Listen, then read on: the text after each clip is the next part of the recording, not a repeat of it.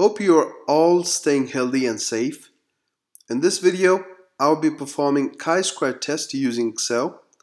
If you find this video useful, please give it a thumbs up. And if you'd like to see similar videos in future, please subscribe to my channel. In this video, I'm using an example of an advertisement reaching buyers and non-buyers. For example, if an advertisement firm is claiming that the advertisement reached both buyers and non-buyers in equal proportion, we can verify the firm's claim by performing this simple chi-square test. For this chi-square test, the null hypothesis is the proportion of both buyers and non-buyers are equal and the alternative hypothesis is the proportion of buyers and non-buyers are not equal.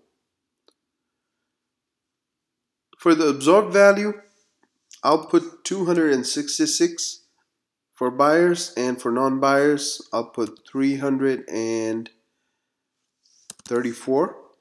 So total number of observed sample size is equals sum of these two values hence it's 600 for the expected value it will be equals proportion multiplied by total number of sample. Proportion multiplied by total number of sample. And similarly proportion multiplied by total number of sample.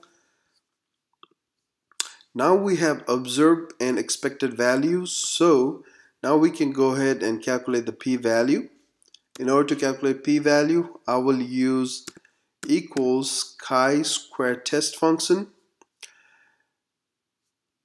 So after chi-square test, we have to select the actual range, which is the observed values, and then expected range, which is our expected values, and I'll type in enter.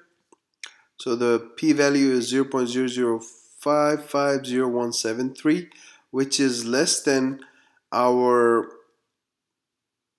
alpha value of 0.05 hence it lies in the rejection region uh, since when p-value is less than alpha we reject the null hypothesis um, in this case uh, we reject the null hypothesis and um, our alternative hypothesis would be true, which is proportion of buyers and non-buyers are not equal.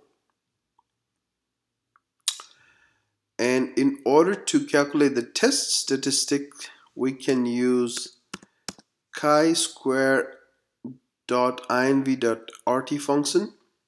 So the probability we will get it from the p-value and the degree of freedom would be total number of rows minus 1 which is 1 and then enter. So our test statistic is or the chi-square value in this case is 7.706667 and our for the critical value we will use equals chi-square dot inv dot rt the proportion 0.5 comma degrees of freedom would be 1 again. So our critical value is 0.45 in this case if you look at this uh, diagram the critical value would be 0.45 and the test statistic chi-square value would lie here in the rejection region. Hence we reject the null hypothesis uh, in this case as well hope you like this video and hope this video helped you um, to understand and calculate chi-square using Excel. Again um, please go ahead and give it a thumbs up if you like this video and please uh, do subscribe to my channel as well. Thank you